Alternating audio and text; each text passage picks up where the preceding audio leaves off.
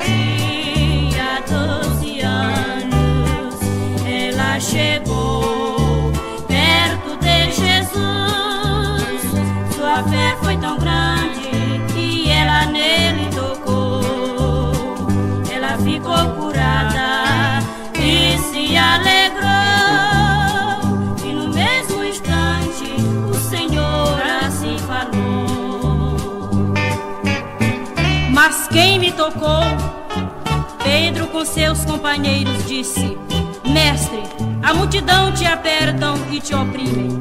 E dizes: Quem me tocou?